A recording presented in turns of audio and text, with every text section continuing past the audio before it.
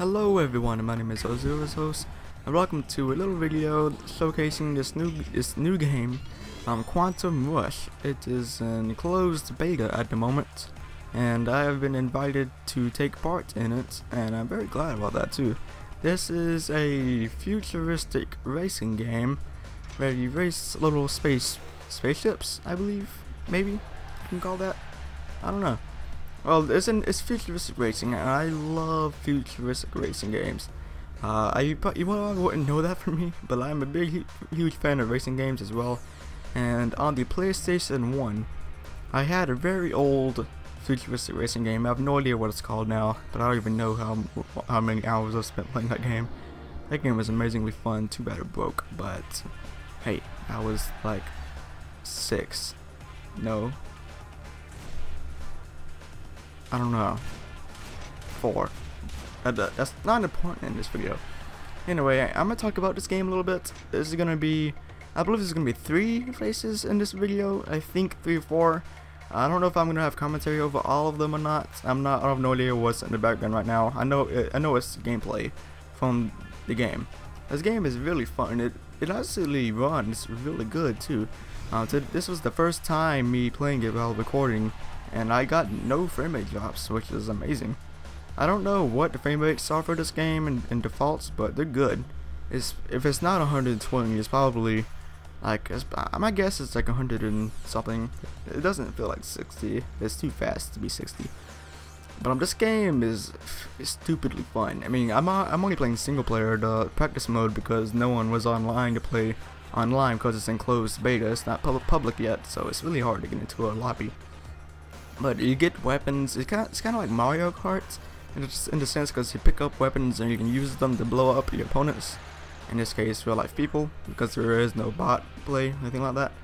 And you can, at, by default, you can choose from three different spaceships. They're called. Uh, are they spaceships or are they like? I don't know what they're, they're considered. I'm gonna call them spaceships. I don't know. You get you get by default you get to choose from three of them, and I'm gonna show all three of them in the video.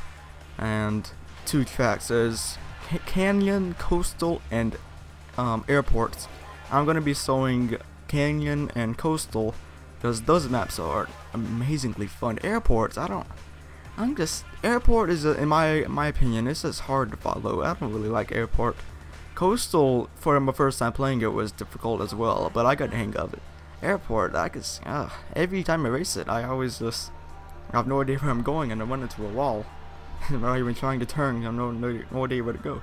And also in this game, even though it's in closed beta, there are a lot of things. I mean, you can you can totally customize everything. I mean, it's cool. You can change the color of your spaceship. You can you can upgrade the engines, the boosters, uh, I guess the weapons. I mean, everything about it. And it's only in closed beta. I mean, imagine what things gonna be if if it if they do get done with it and publicly release it.